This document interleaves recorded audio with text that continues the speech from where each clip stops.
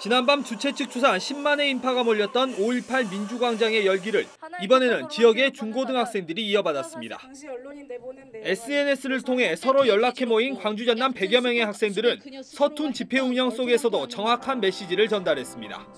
민주주의 국가는 국민이 주인이 되는 국가라고 배웠는데 그 국민은 최순실 씨에게만 해당되었던 것이었습니까? 중학생들의 발언도 거침이 없었습니다. 박근혜 대통령 만약 자기가 양심이 있다면 이 동영상을 보고 국민의 의견을 적극 수용해 퇴진하십시오. 특히 정유라 부정입학 사실 등에 대한 학생들의 분노는 더욱 컸습니다.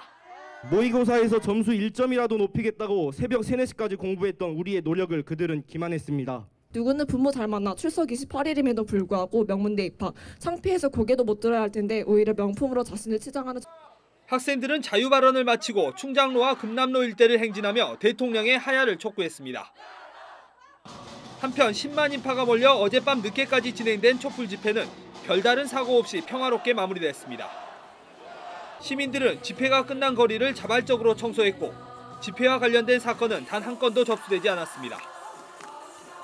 광주 촛불 집회는 앞으로도 매주 수요일과 토요일 저녁 5.18 민주광장 일대에서 이어집니다. KBC 이영길입니다.